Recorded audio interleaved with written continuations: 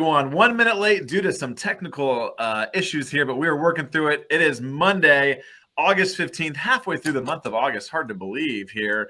Uh, I'm Mayor Chris Jenson coming to you live from the city of Noblesville, and we are here with another edition of Mental Health Monday. We're so excited to have you here on a beautiful, actually, it's pretty gray, but anyways, it could be beautiful wherever you're at Monday morning because uh, we have listeners and viewers from all over the world, which is awesome. So I am joined once again by a great friend of mine, somebody who offers so much time, talent, treasure to the city of Noblesville, Kristen Boice, the owner of Pathways to Healing Counseling. Good morning, Kristen.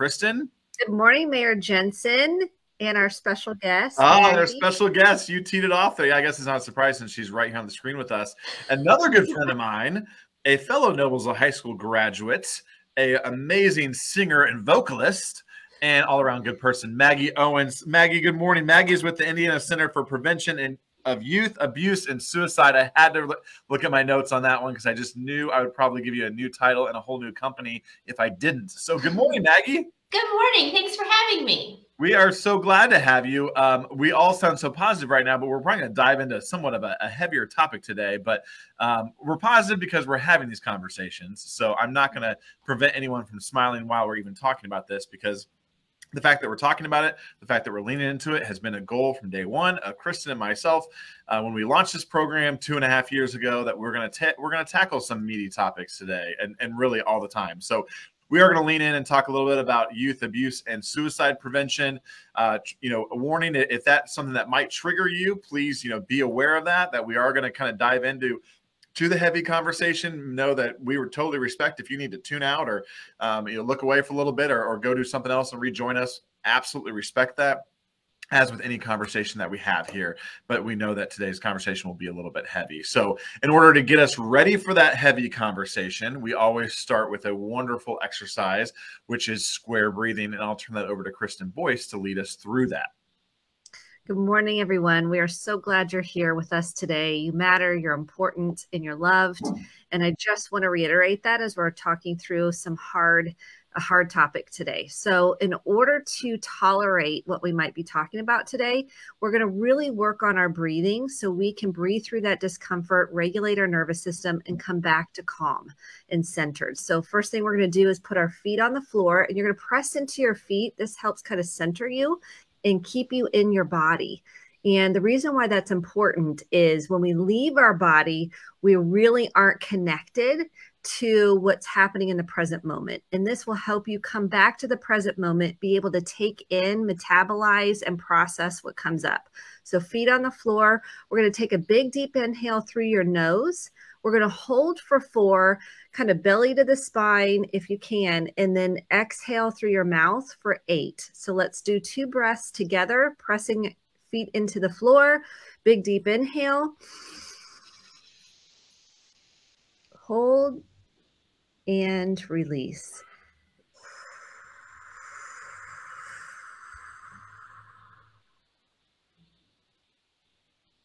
Just reconnect to your body, your nervous system. Take one deep, another deep inhale through your nose and release.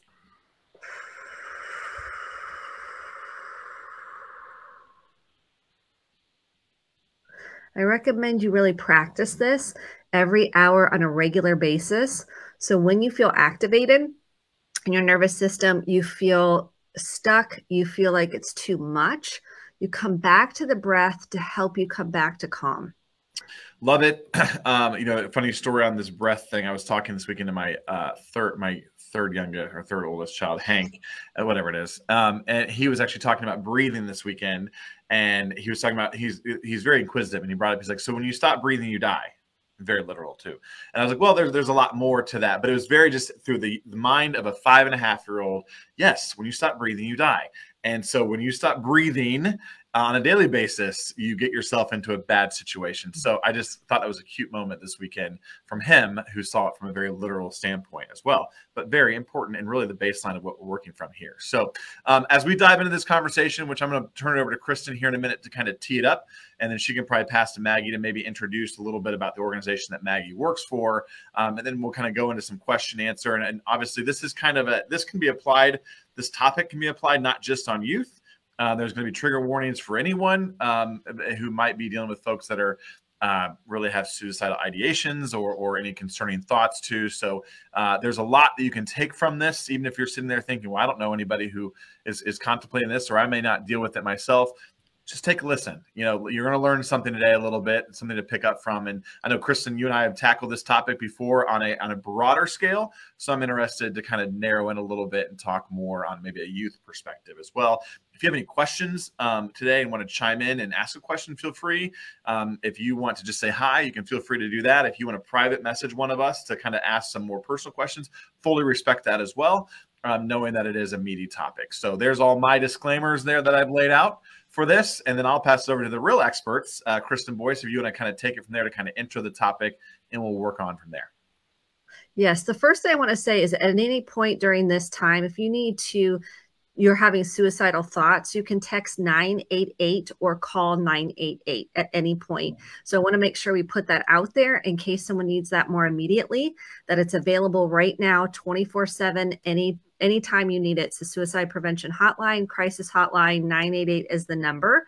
And so without further ado, Maggie, welcome. We're excited Hello. you're here. Tell us a little bit about what you do, the organization, what you do. And then my goal for our goal for the conversation is to decrease the stigma and equip people on how to approach this conversation about suicide because people are scared. They're going to say the wrong thing. They're going to plant a seed. They're going to trip something in or trigger something in someone. So, and the other thing is prevention. So, tell us a little bit about the organization and your role. Absolutely. So, like Mayor Jenson said at the start, I am with the Indiana Center for Prevention of Youth Abuse and Suicide. If you are been around Hamilton County for a long time. We were previously known as Chaucie's Place. So we are a prevention education organization that work directly with students and families on child abuse prevention, child sexual abuse prevention, and suicide prevention. So in the state of Indiana, it is mandated in kindergarten through 12th grade that every student receive body safety education every year. So we provide that to, um, we were in 103 different school buildings last year providing that education. Um, in addition to that, we also offer some suicide prevention programs and an adult focused child sexual abuse prevention program. My role in the organization is I am the director of education and community relations. So I get to be out and about sharing these topics, talking about it in a way that makes people comfortable, as well as um, just helping to educate our communities and our families. And Maggie, you have a background in education, correct? I do. I was a Noblesville school teacher for 10 years. I have a master's in curriculum. And so I help write our curriculum, and I'm actually getting a postmaster's certification right now in social emotional learning. Fantastic. So let's jump into one. Let's start with warning signs. Mm-hmm. If someone is showing signs that they don't, they say, I don't want to be here, I want to die, or they might not say anything. Mm-hmm. So, what are some of the warning signs so people can know what to look for? So this is the, the, tricky thing is that not every person is the same. So they're not going to demonstrate the same warning signs as as somebody else, and it may not be as clear as saying I want to die or I don't want to be here. But there are some of those direct verbal cues like i don't want to be here. I want to go to sleep and never wake up. Um, and there are some behavioral indicators as well. Obviously we know that mental health and substance abuse go hand in hand. So somebody who has increased the amount of substance that they might have whether that's drinking or other drugs that is an indicator that might be a concern for somebody. Um, there are you know giving away possessions is something that we see a lot of times. That is an indication that they're giving away the things that are important to them because they they aren't going to need those things anymore. Um, so there's a variety of different signs and warning signs that we see and experience both from the youth as well as um, our adults. I mean, for example, if somebody is making their end of life um, plans in place, I mean, that is something that obviously as an adult you want to have those things put in place for when um, your time here on earth is done. But we, when we see those those fixations on planning the ends of what what's going to be the end. Um, obviously, stockpiling any kind of pills or stockpiling any kind of means in order to take their life. That is going to be an indication of something going on as well. And so, how do we have conversations if we suspect someone's, we notice their mood shifting, their behaviors of shifting, they're isolating more, something, we just, something is we, in our soul, we're like, there's something going on. How do we approach the conversation? That is a really important thing to have. I mean, I know that Kristen, you and I were saying before we even got started that, you know, when I was growing up, suicide and suicide thoughts were not a dinner table conversation. That wasn't something that that was openly talked about. But I think that we are changing that stigma. We are changing that trajectory where we are having these conversations because it's important to have these conversations, right? And so talking about feelings emotions what what we're going through on a regular basis is just going to open up that door of communication. And so when we're thinking about how to approach this i think it's really just going sometimes you just have to jump in with two feet and say hey i've noticed that you're not acting yourself. What's going on? Are you having thoughts of harming yourself? Are you having thoughts of suicide? Like let's let's have a conversation because even though so many times people think that having that conversation is putting the idea in the mind of someone, what you're doing is opening that door to be able to have an ongoing conversation. So if I'm worried about a friend of mine, I've noticed that their behavior has changed. I've noticed that they are withdrawing and isolating. The best thing that I can do is reach out and say, I've noticed these things. Tell them the things that you've noticed, how their behavior has changed. Because if they're not having thoughts of harming themselves, they maybe didn't even realize that they were withdrawing. Maybe they didn't even realize that they were acting this way. But by being a good friend and having that conversation and reaching out to them, you're now showing that you care. You're showing that you're concerned about them. You're bringing up some behavioral changes that maybe they weren't aware of. And then they know that ultimately then they know that you care about them. And so, so many times when we talk to kids, we know that in the time of a suicide attempt or suicide ideation, most of the time that student has shared with somebody that they were having these thoughts, but they follow it up with, but don't tell anyone. So we have to teach these kids and everybody really that these are the kinds of secrets that you tell somebody. These are the kinds of things, even if you feel like they're going to be mad at you, if you're concerned about somebody, you're going to feel horrible if something happens and you never and you never share that information. So these are the, those kinds of situations where we reiterate to them all mm-hmm. secrets can be told, even secrets where you think that, you know, they might hurt themselves or they're going to be mad at you. Those are the kinds of things that are the good secrets that you need to share in order to make sure that your friend is safe.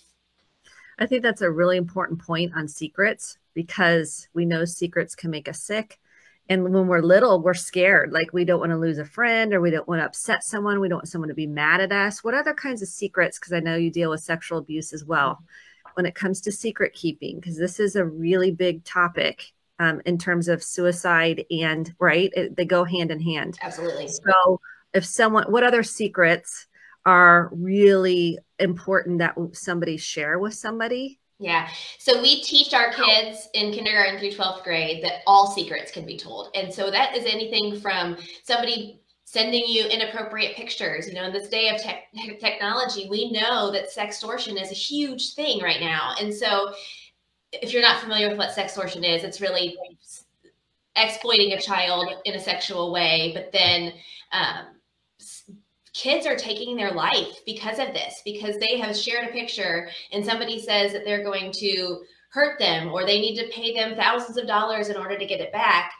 Kids are taking their life because of this. And so, any kind of this sexual exploitation, any kind of somebody that is looking at, touching, taking pictures of your private parts or asking you to look at, take pictures, touch their private parts, those are the kinds of secrets that get people in trouble. And so we we tell our our kids that if somebody if that's happening to you it is never your fault. It never can make you any less special. It can't take away your dignity. But those are the kinds of secrets that you need to tell someone so that you can be safe. So if a friend is telling you that they have been abused or they have had somebody taking pictures of them that if a friend tells you that, that's the other kind of thing that you need to go tell somebody else. We, we teach our kids about their trusted adults. We encourage them to have trusted adults at school, at outside of school, whether they're it's in their church or if it's a coach, if it's their mom or their dad or their grandma or their grandpa. But we encourage them to have lots of trusted adults because sometimes it's that trusted adult that's violating the child. And so if that's happening, then they need to have other adults that they can talk to and that they feel they can trust to get them get them the safety and the and the help they need. What are the statistics on the abuse that happens with somebody you know versus a stranger? So 90% of the abuse of, of child sexual abuse happens with somebody that they know. Um, and it may not be some and, and we know that these perpetrators often groom the whole family so it's somebody that the whole family is usually connected to that is violating a child and so that's the as a mom i have two kids. I have an 11 year old and a 9 year old and you know I, I some may say i'm a little protective but i i ask the questions. And i think it's important to know if your child's going to an overnight who else is going to be in the house? Do they have brothers or sisters that are going to have friends over? Where do you keep your firearm? Do you have a firearm in your house? I mean i I probably come across a little bit like a crazy parent, and that's okay because if I'm being a crazy parent to protect my kids, I, I'm fine with being the crazy person. Yes. And I think these are conversations that we don't like the more we can talk about this and the more we just openly have this dialog mm-hmm. in our home and outside of our home and at school, this becomes a normalized conversation and it takes that discomfort and that fear down. Mm-hmm. I use an example that my my son last year came home from school and he was in fifth grade and somebody that sat next to him said that he didn't want to be here anymore and my son came to me and he was like I know I know what that means. Like, what do I do with this information? But because we've had this conversation, we've had open, honest, raw conversations with our kids, they know what to do with that information. So he reported it to the school counselor. The school counselor met with the child. It was kind of a misunderstanding, but if you wouldn't have done something, then that child could have been really thinking about taking their life. And if we don't have these conversations, we see kids younger and younger that are feeling these suicide ideations that feel like they don't want to be be around anymore and it's happening so much younger than I think we realized even as as adults that these kids are struggling in such a way. Maggie, can I chime in and ask a question? Yeah. Um, can we back up to uh, this is this is such a uh, it's a heavy conversation, but it's a absolutely needed one, and, and my kids are I have young kids as well, and um, but I wanted to, to, reach back on the on the suicide conversation and you know how to just ask that question of, of a kid or a child and if they're having those thoughts. So if I'm sitting here watching today and I'm like, yeah, that sounds great, Maggie. That I'm just gonna, you know, I'm sure that, that you want me to just go ask like, do you feel like you might commit suicide? You know, I in a perfect world, yes. If I'm not comfortable doing that though, and I'm like, okay, well, what's the next best thing that I could do if it wasn't that? Can we maybe drill in a little bit on maybe some other techniques yeah. um, as an adult, even that might not feel comfortable? How would you go about, or, you know, I thought we might expand on that for a minute. For sure. So we say, like, it doesn't matter how you ask the question necessarily, but it's the important that you do ask some questions. I mean, the, if you overthink the words that you're going to say, then you're going to end up sounding blubbering and it's not going to come across, across in a clear fashion. And if you truly do not think that you can have those conversations, whether it's you don't you you just are so worried about saying the wrong thing or doing the doing it wrong, find somebody to ask those questions. So reach out to the a, a teacher, reach out to the school counselor and and express if you have concerns about somebody, the best thing you can do is make somebody aware that you're concerned. Ideally, it's going to be having that conversation directly with the individual, but if you truly don't think that you can, find somebody that can. My my family were big journalers, and so I can maybe even if I was concerned about Wyatt, my 11 year old, maybe it's I write in a journal and we journal back and forth. I mean, I think that's a good good philosophy for for parents to do because sometimes your kid may not want to talk to you, but they may be, be a lot more comfortable putting it in writing. So if you are concerned, put it in writing, write it down in a note. That way you can pre-think what you're going to say, you can formulate your thoughts and you can put it in writing and then give that to them in that capacity. That's another option. Kristen, do you have any good points there? I think how are you feeling is a great one to start. Some people go, I don't know, or terrible, or just tell me more about that. You know, those kinds of connective conversations get it started mm-hmm. because having a prompt like how are you feeling i'm fine feelings inside not expressed we've talked about that many times we can say well tell me more because i can sense something in my gut says something's going on and you could be out and i say i could be out to lunch. I like to say this like i could be out to lunch and you can tell me that i'm out to lunch. And something in my gut just says there's something going on. I can see it in your eyes. And people feel afraid to be seen. I think it's important to make that note because we think we all want to be seen we all want to be we all do we want to be understood but then when we really are seen that's really vulnerable and scary for a lot of people. We're used to kind of masking it maybe or we're just kind of like don't look at me don't see me i want to hide because i'm in shame so being seen is very vulnerable, especially when someone is asking you when maybe nobody has really cared. You felt like nobody's really cared about you, and all of a sudden somebody's asking. What do you What do you think, Maggie, about that?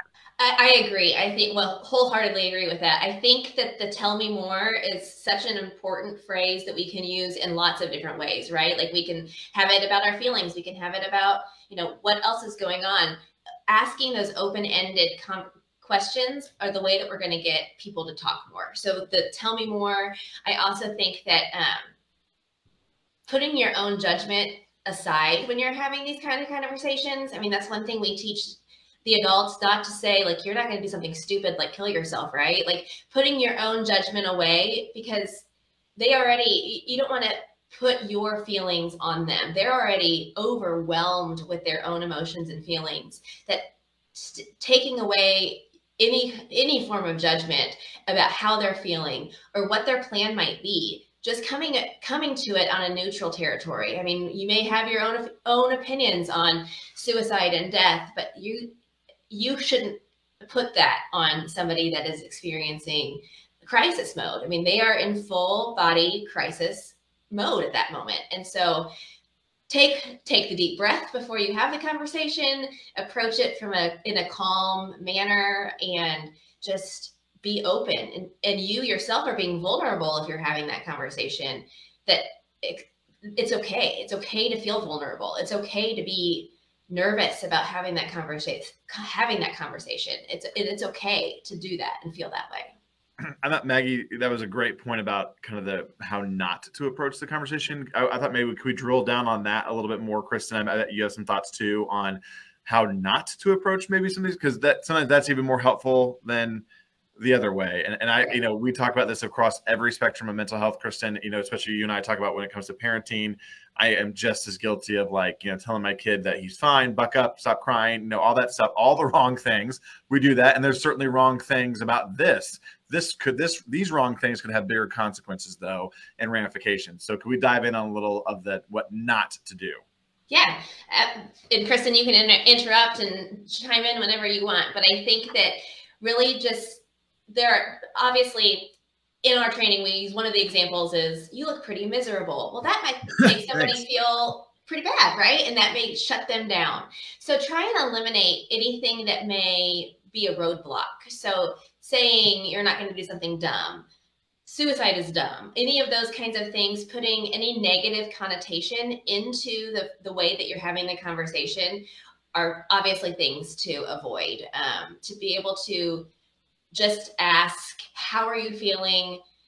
What's going on with you? Again, having open ended conversations because you don't want to ask yes or no, because then that shuts the conversation down. It shuts that door of communication. So open open ended is the best way to do things with the tell me more.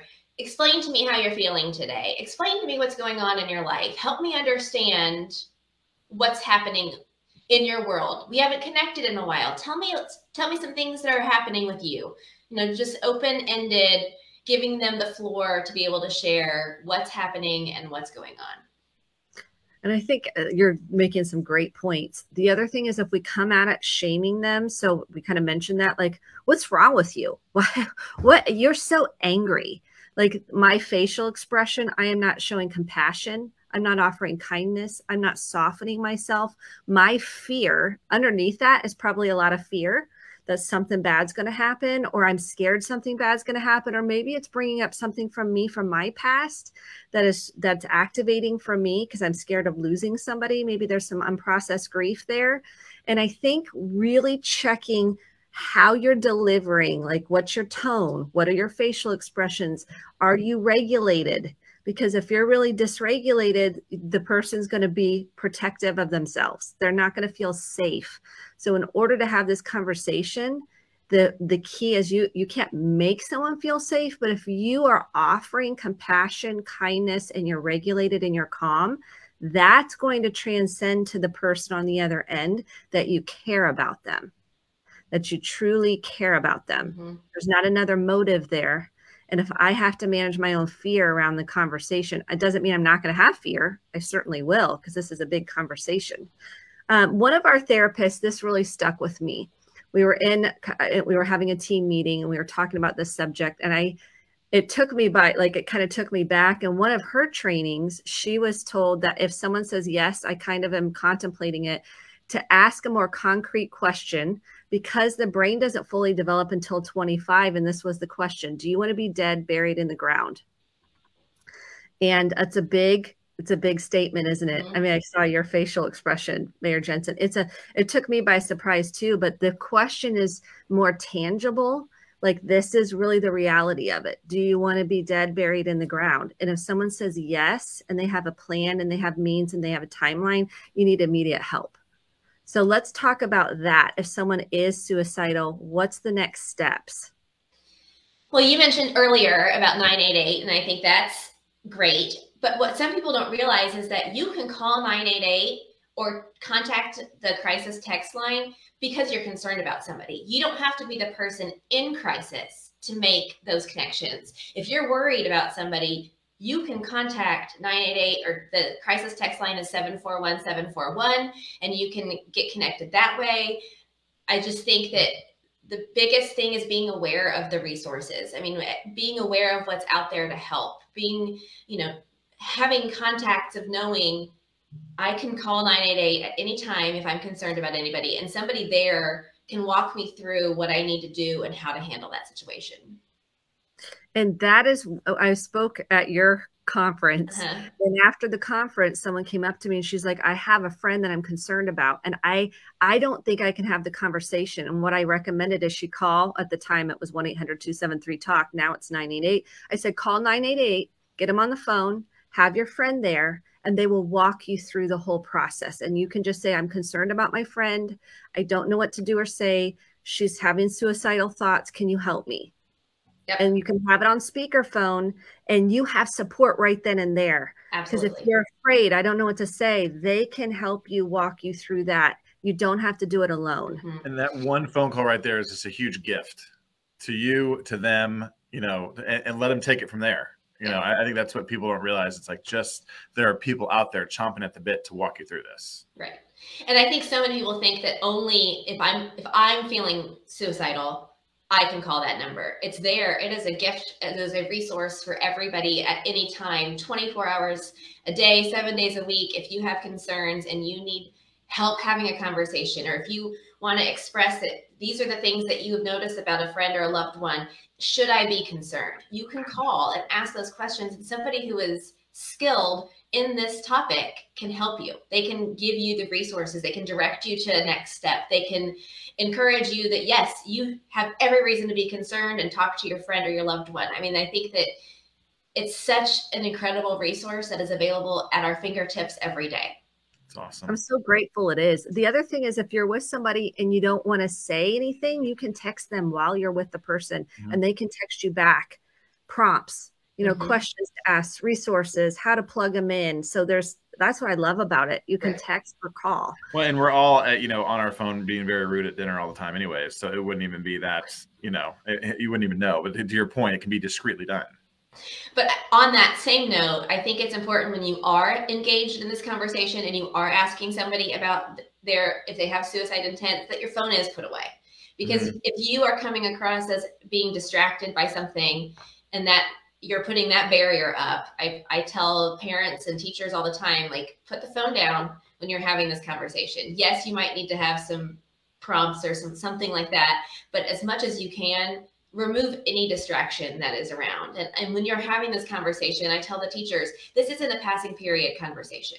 This isn't a, I have five minutes between classes to ask these kids. You have to have intentional time and you need to have an opportunity to sit down and hear because they may not come out right away and say, these are my, my, my intents, but they may tell you everything that has led up to why they are feeling the way that they are. And so that may be a very long open conversation before you get to what's really going on. And so prepare to have to spend time with that that person prepare to truly invest and engage with that individual and not have it be a surface level conversation awesome well uh, i told you maggie this would go by really fast and it's already been 30 minutes so Ooh. thank you thank you so much maggie owens uh, for helping us address this very, very heavy conversation. Uh, several actually issues that, that we dealt with here between youth suicide and also, um, you know, sexual abuse as well. Both are incredibly serious issues, and I think you helped shine some light on it. Kristen Boice, you're always amazing. I think the, the takeaway here today is 988 is there for you. Call it, text it, be ready um, to have those honest conversations. Um, thank you, everyone, for tuning in today. Kristen, thank you. Maggie, thank you. Uh, we will be back in two weeks with another topic. But uh, in the meantime, stay safe. Reach out if you need help and know that you are not alone. So thanks again. I appreciate you guys. Thank you.